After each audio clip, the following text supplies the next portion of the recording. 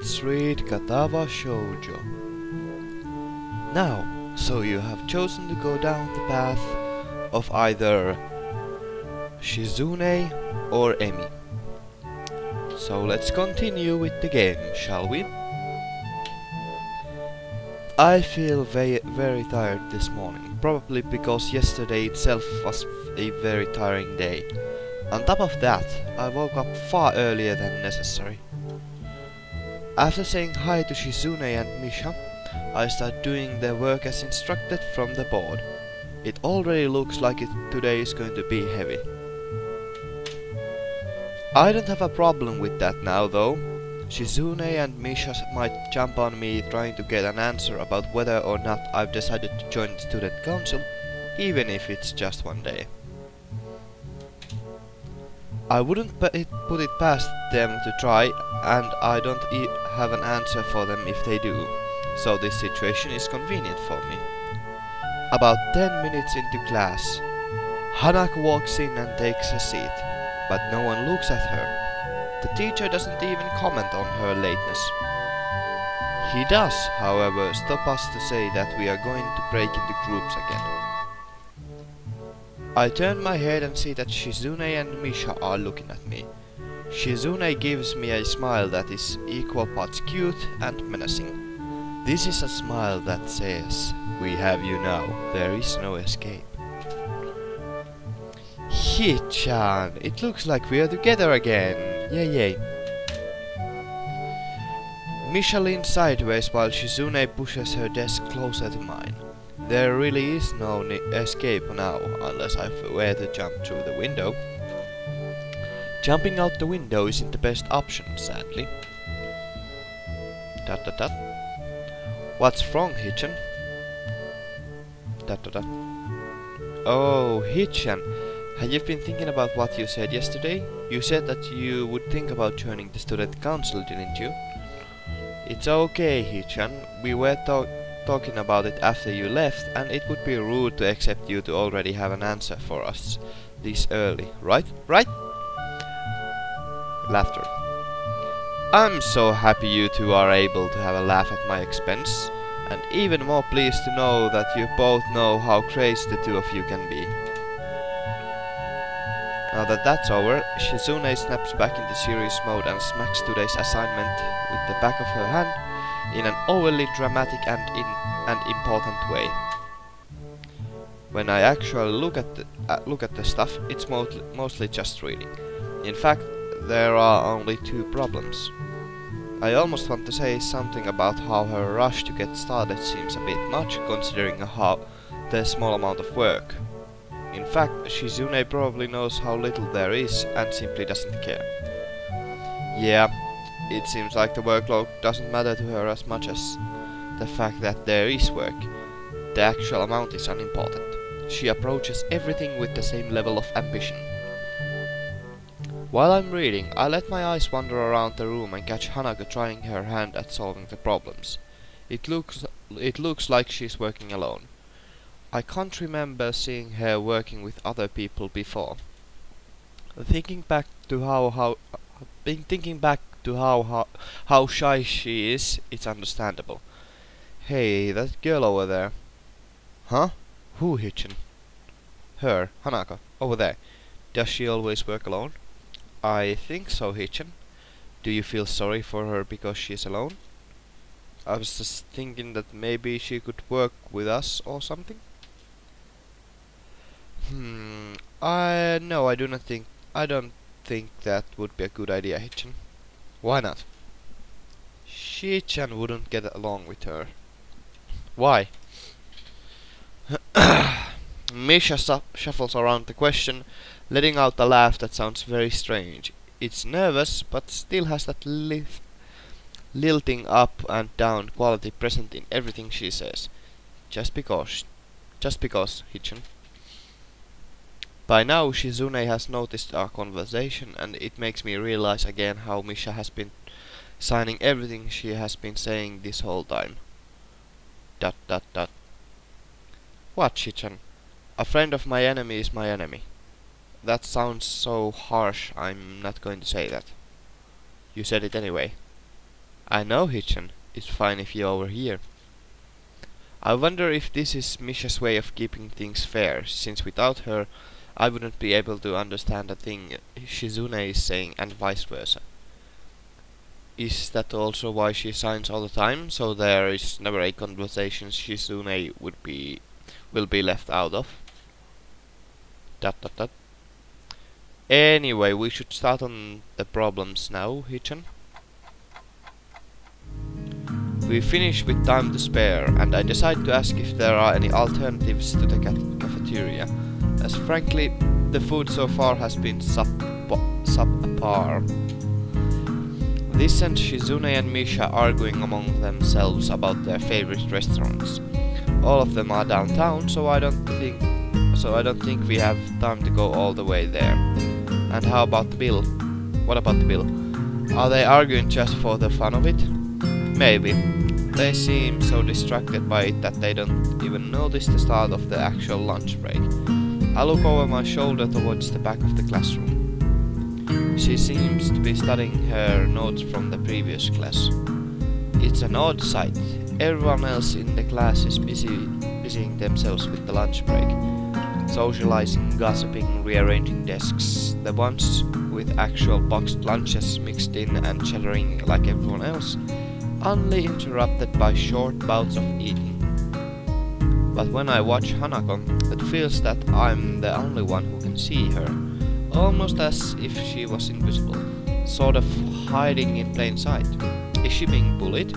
Is she isolating herself from the rest of the class on her own accord? I see her look over her shoulder towards the classroom's rear door. Come to think of it, she hasn't turned a page since I started watching her. I guess she's waiting for someone. To do? So... Mm, we are going down this path, so let's take this option. Wait for Shizune, Shizune and Misha. Misha and Shizune are still arguing about their choice for lunch place, incomprehensible for a pair of high school students who have to take a taxi at least to make it to downtown and back in time. Haven't you finished already? Oh, sorry Hitchin, were you waiting for us? Dot dot dot. You don't have any plans? Plans? For lunch? Well, I don't, so I thought you I could hang with you guys. Misha smiles victoriously at my lack of plans and excitedly translates my response to Shiz Shizune. If you don't have anything specific planned out, do you want to eat lunch with me and Hitchin? Ah, we're going to go to town for lunch though. Don't worry, Hitchin, it's not that far. Sure, I'll come with you. And with that, we leave the classroom. Just around the corner of the hallway, something hits me in the chest with the force of a runaway train. Ouch. Opening my eyes, I see a pair of saucer-like green eyes looking up at me. They belong to a to the perpetrator, a short girl who bumped into me and now ha and has now fallen down onto the hallway floor. She wears a PA, PE uniform and a worried frown. The former strikes me as a rather strange thing to have on during lunch break. More striking than that though is that she doesn't have legs. Or she does, but they're not flesh and bone. Her pale and very much flesh and bone thighs end in shins and at and feet made of something black metallic or plastic-like material. They look disturbingly artificial and unnatural. It almost makes me forget that my chest is hurting. The girl winces at a winces a little, rubs her nose and jumps up. Oh man! Hey, are you alright? I'm sorry about that, really. I wasn't looking where I was going, and you just came out of nowhere. Sorry, sorry. She's looking really apologetic, in the hurt puppy way of looking apologetic. I quickly forget about being angry or anything, since hurt puppies are my weak spot. It's okay, uh, don't worry about it. Ouch. I say that, but there's a, there's a stinging pain growing in my chest, and I know that this is about the biggest possible danger for my condition. Don't overexert yourself. Don't forget don't forget your medication, and most of all, don't get hit in the chest. I try to rub my solar plexus to chase the pain away, holding my breath in attempt to hear my heartbeat.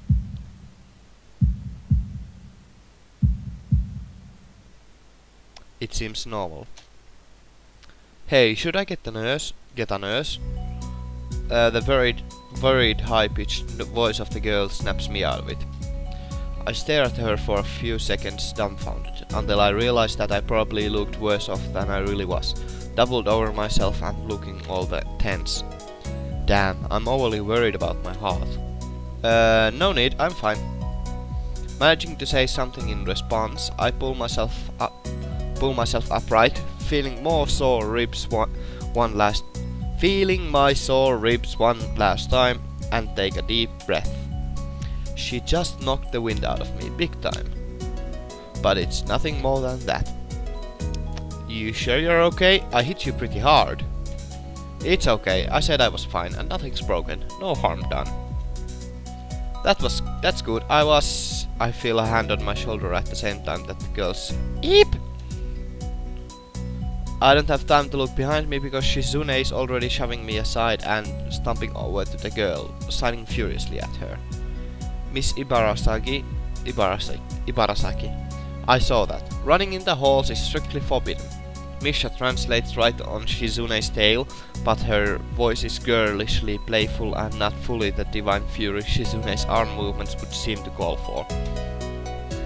Uh, sorry, I was just going to get some stuff and I was in a kind of hurry. You've been told this a thousand times before. Your reckless behavior endangers other students and even worse, it's explicitly against the school regulations. The girl blushes and starts to fidget nervously like a little child caught misbehaving. It's so cute I find myself smiling. I know that. I um I was just dot dot dot. Make sure that this will not happen again, although I'm sure telling you this is futile and only causes me further headache, further headache when you choose to ignore the regulations. Got that, Emi? The small girl sticks her tongue out in response. Ah, I gotta go. Teacher'll have teacher'll have my head. I promised to help with printouts, but I went running instead. Sorry, but I've got to, I've, I've got to change and everything. Before Mish and Shizune I or I can say anything, she's already bolted from where she was a second ago, almost whole halfway towards the stairwell.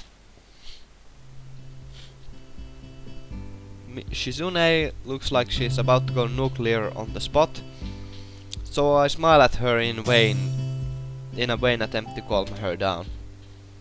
Dot dot dot. Are you okay, Hitchin? That Ibarazaki, Ibarazaki girl is always like that, causing trouble to others.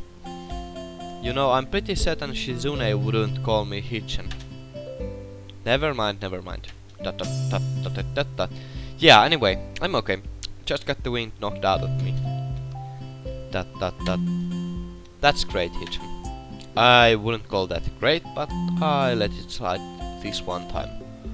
Dot dot dot dot dot. So, let's hurry, Hitchin, to have lunch. We promise it'll be great. I'll take your word for it. What kind of place is it? A restaurant or something? It's a tea house, Hitchin. A tea house? That sounds kind of fancy. Why are you looking at your wallet, Hitchin? It's okay if you don't have any money. We'll cover for you. That's really nice of you. Thanks. It's okay, Hitchin. After all, we're friends, right, Hitchin? It's only been three days.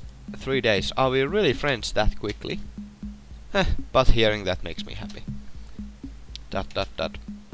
Ah, it's only for today, though. And if only if you accept right now. Do you want to go, Hitchin? I start wondering if this is some sort of some kind of trap. Is this Misha's suggestion or Shizune's? This is important. I'm still a little apprehensive about the possible motives of a girl whose favorite pastime is a game of world domination.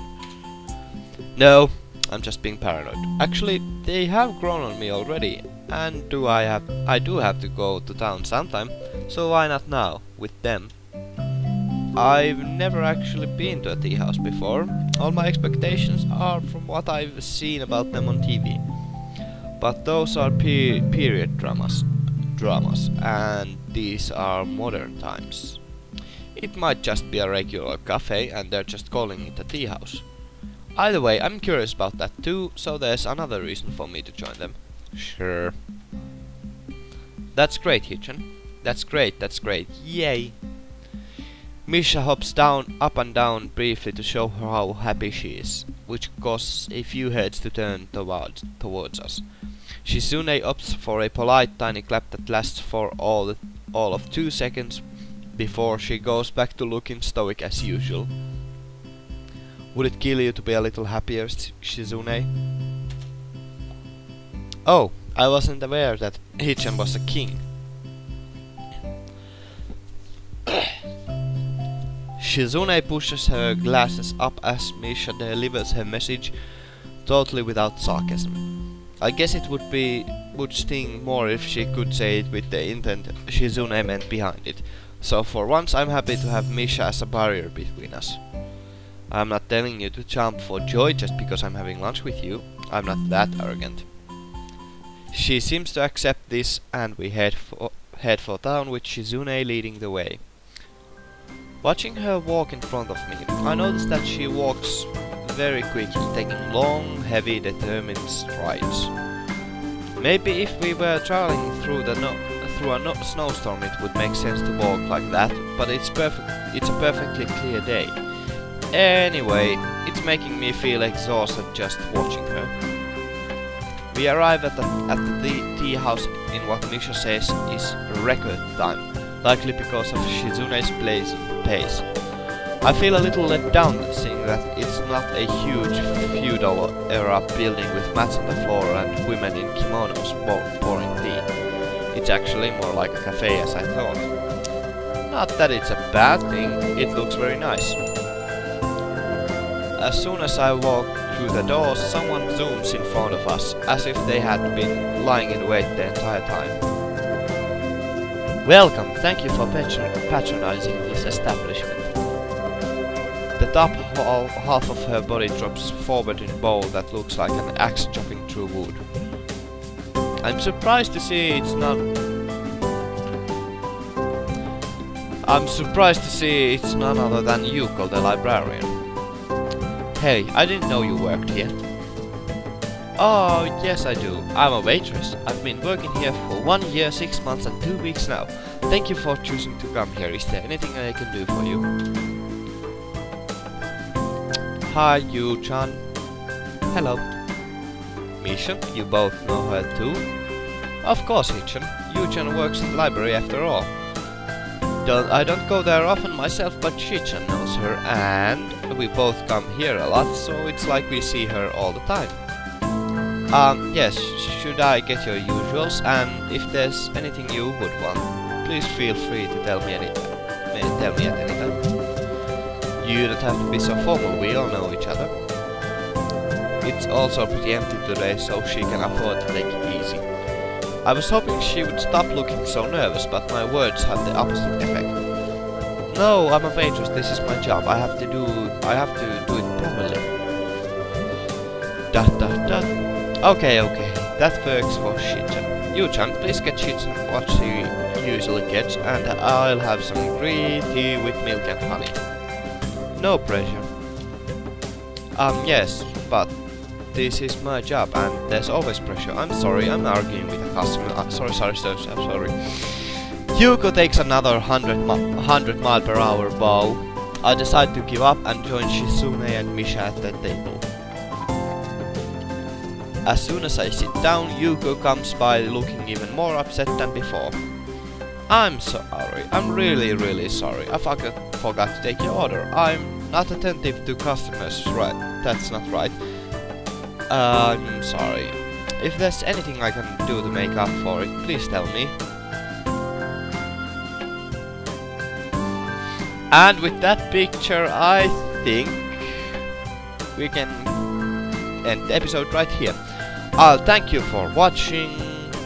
Please come next time. Leave your comments below. Like, favorite, subscribe, and all the fun stuff. Have a good day. Ganmue out.